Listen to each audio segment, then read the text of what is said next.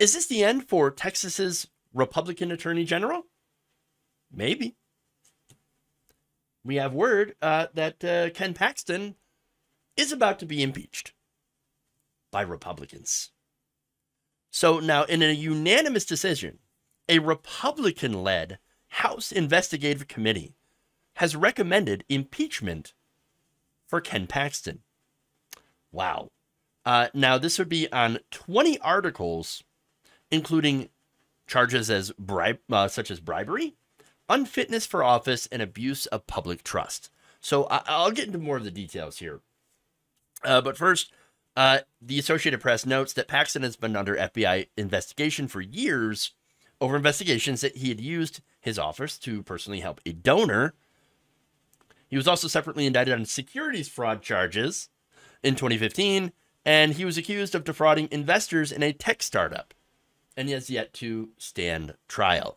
So, the year prior, in 2014, he admitted to violating Texas securities laws over not registering as an investment advisor while soliciting clients. So, Ken Paxton has a huge history of corruption. Unsurprising. Uh, and yet, again, he is uh, uh, Texas's top attorney general. I mean, wow. So now let me give you more details to what uh, he's alleged to have done. He had also uh, opened a legal defense fund and accepted $100,000 from an executive whose company happened to be under investigation by Paxton's own office for defrauding Medicaid. Wow.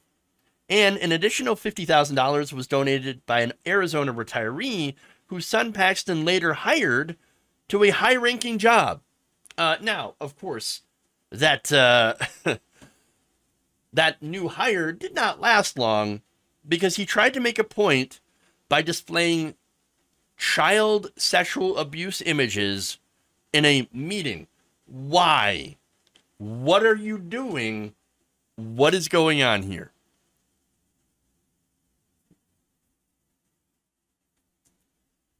But it's not just those things.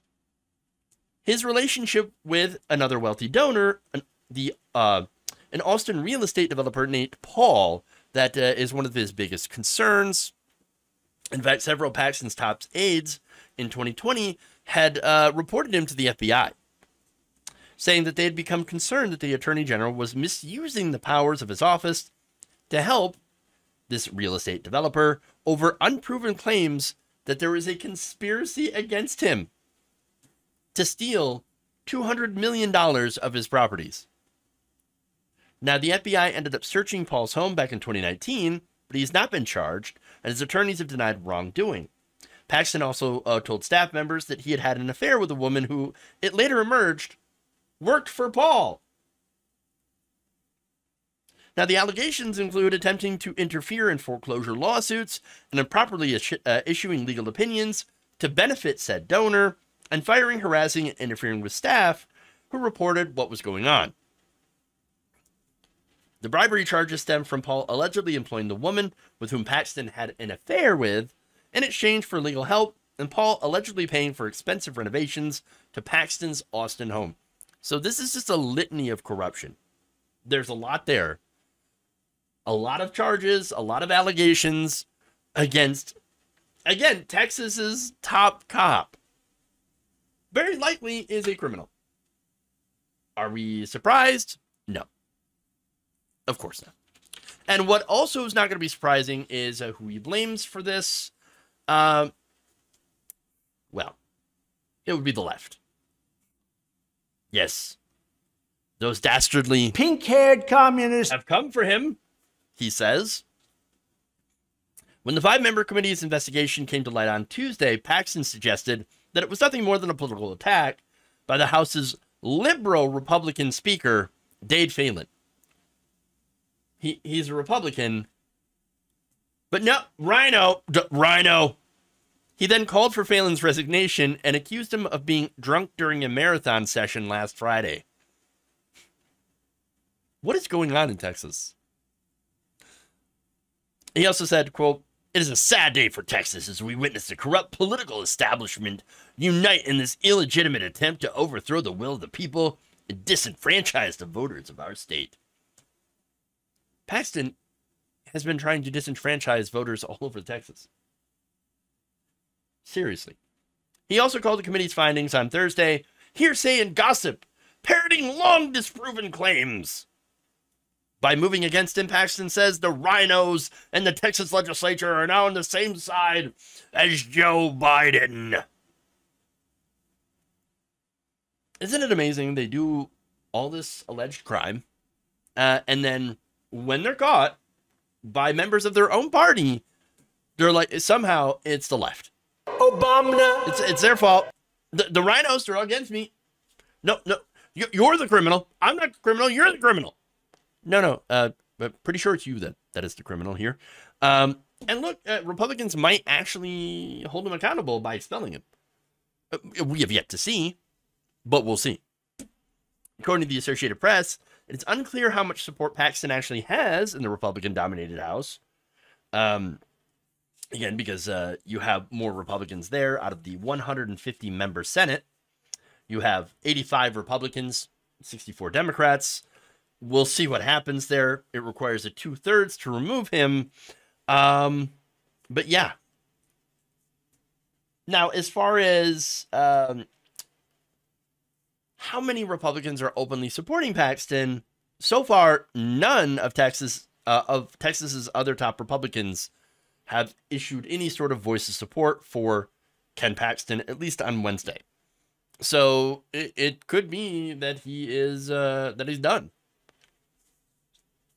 Maybe. Maybe. I'm not uh, I'm not to say he's done yet.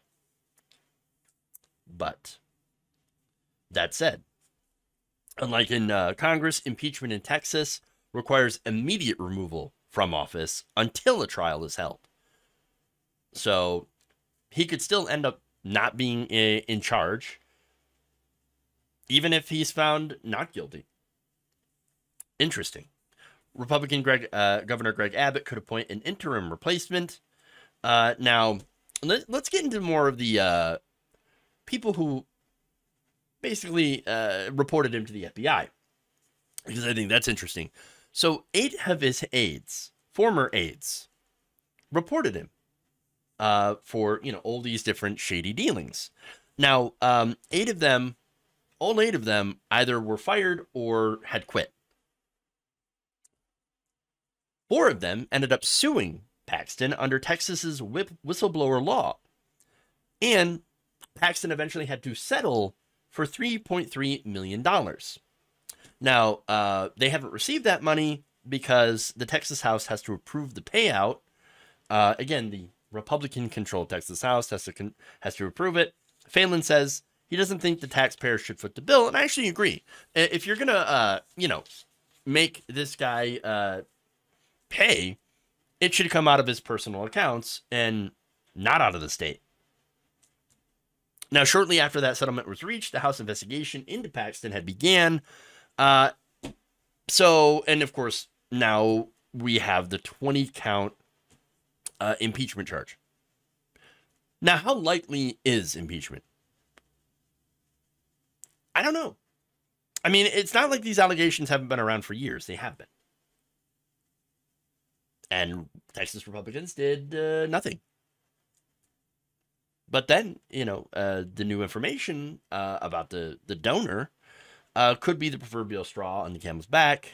Um, so I don't know. Uh, that said, this uh, committee was majority Republican, three Republicans, two Democrats, and there was unanimous agreement that they believe that Paxton did all these crimes and is an absolute crook. But again, it is going to be up to now the Republican House, which again, you need two thirds of the 150 member Senate, and one of the senators happens to be Paxton's wife. Oops. So I don't know if it if it we get into a situation where she ends up somehow being a tiebreaker. Oh, that's going to be disastrous. I mean, I don't know. I guess we'll see whether or not enough Texas Republicans care about law and order and actually fighting against real corruption, or if they don't.